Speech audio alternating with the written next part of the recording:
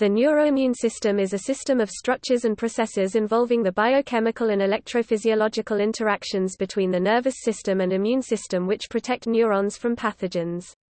It serves to protect neurons against disease by maintaining selectively permeable barriers e.g., the blood-brain barrier and blood-cerebrospinal fluid barrier, mediating neuroinflammation and wound healing in damaged neurons, and mobilizing host defenses against pathogens. The neuroimmune system and peripheral immune system are structurally distinct.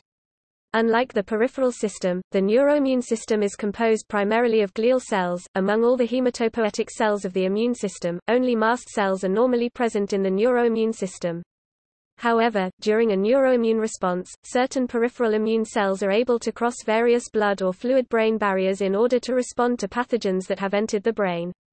For example, there is evidence that following injury macrophages and T cells of the immune system migrate into the spinal cord. Production of immune cells of the complement system have also been documented as being created directly in the central nervous system.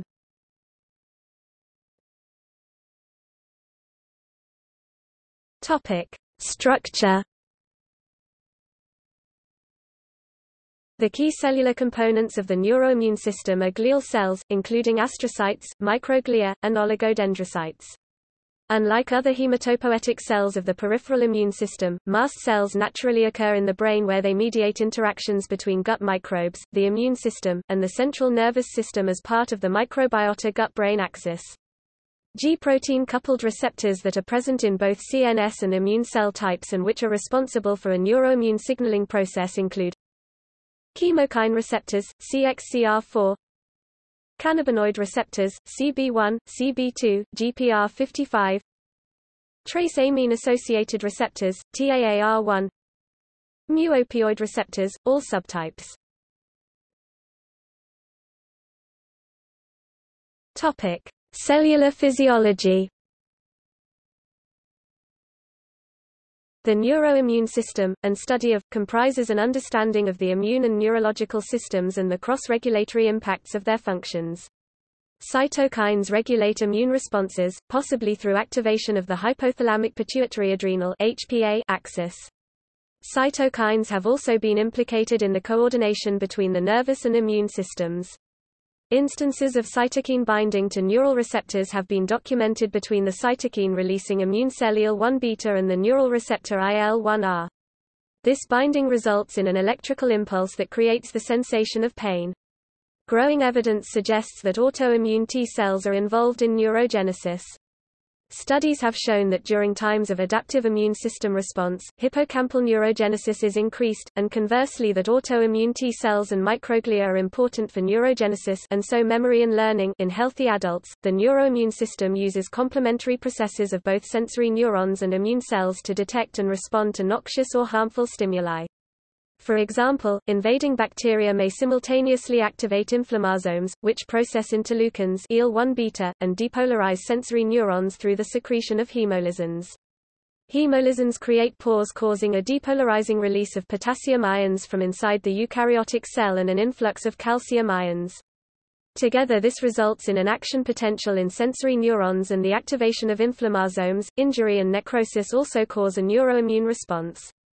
The release of adenosine triphosphate ATP from damaged cells binds to and activates both P2X7 receptors on macrophages of the immune system, and P2X3 receptors of nociceptors of the nervous system.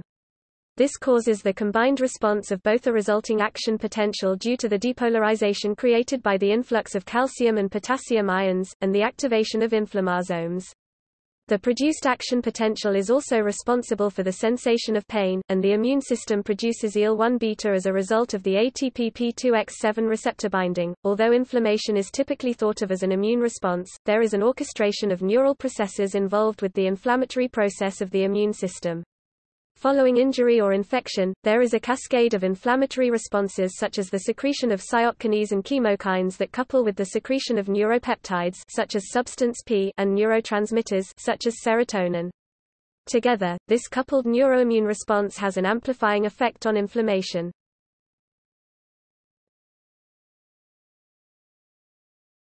Topic: Neuroimmune responses.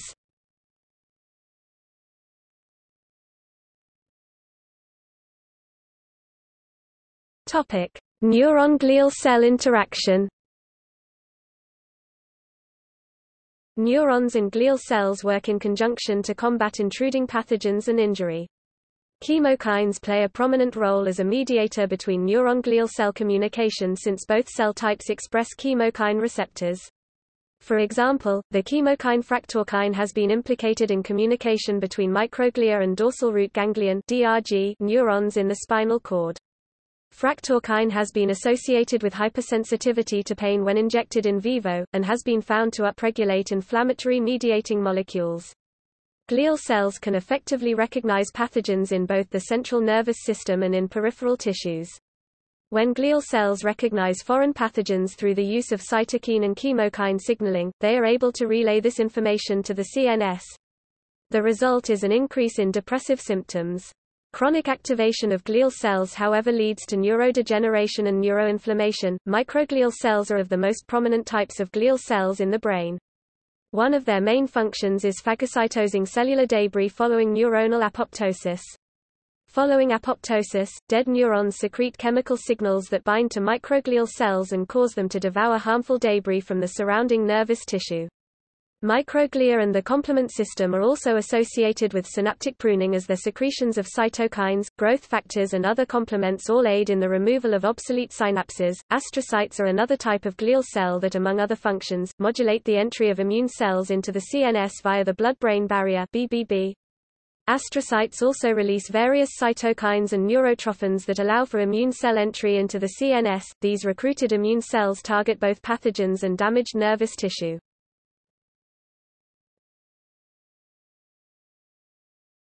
Topic: Reflexes.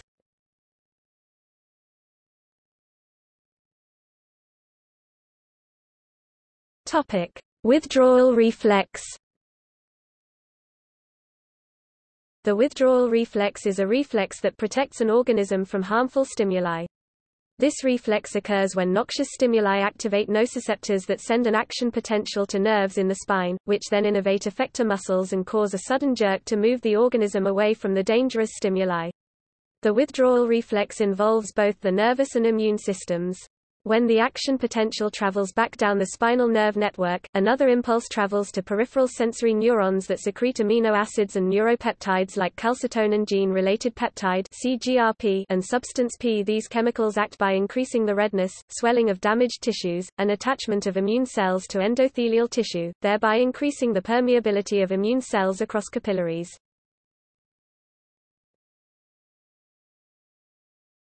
Topic: Reflex response to pathogens and toxins Neuroimmune interactions also occur when pathogens, allergens, or toxins invade an organism. The vagus nerve connects to the gut and airways and elicits nerve impulses to the brainstem in response to the detection of toxins and pathogens.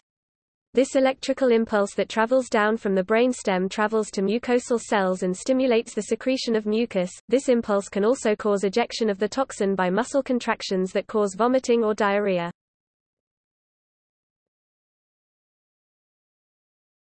Topic: Reflex response to parasites.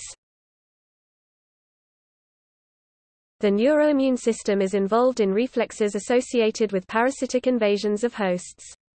Nociceptors are also associated with the body's reflexes to pathogens as they are in strategic locations, such as airways and intestinal tissues, to induce muscle contractions that cause scratching, vomiting, and coughing.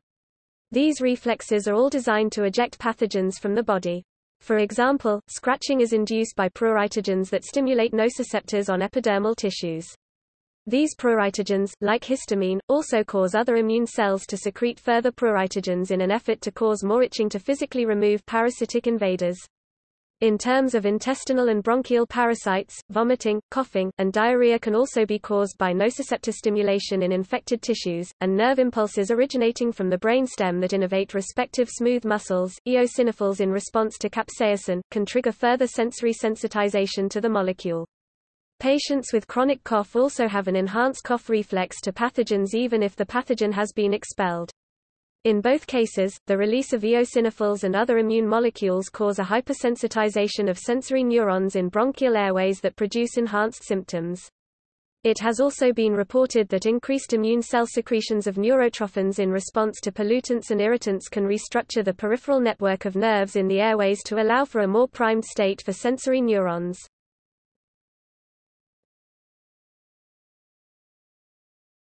Topic: Clinical significance.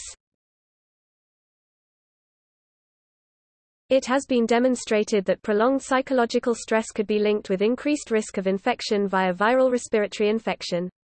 Studies, in animals, indicate that psychological stress raises glucocorticoid levels and eventually, an increase in susceptibility to streptococcal skin infections. The neuroimmune system plays a role in Alzheimer's disease. In particular, microglia may be protective by promoting phagocytosis and removal of amyloid beta, A beta deposits, but also become dysfunctional as disease progresses, producing neurotoxins, ceasing to clear A beta deposits, and producing cytokines that further promote A beta deposition. It has been shown that in Alzheimer's disease, amyloid beta directly activates microglia and other monocytes to produce neurotoxins. Astrocytes have also been implicated in multiple sclerosis MS. Astrocytes are responsible for demyelination and the destruction of oligodendrocytes that is associated with the disease. This demyelinating effect is a result of the secretion of cytokines and matrix metalloproteinases MMP from activated astrocyte cells onto neighboring neurons. Astrocytes that remain in an activated state form glial scars that also prevent the remyelination of neurons, as they are a physical impediment to oligodendrocyte progenitor cells OPCs. .The neuroimmune system is also involved in asthma and chronic cough, as both are a result of the hypersensitized state of sensory neurons due to the release of immune molecules and positive feedback mechanisms. See also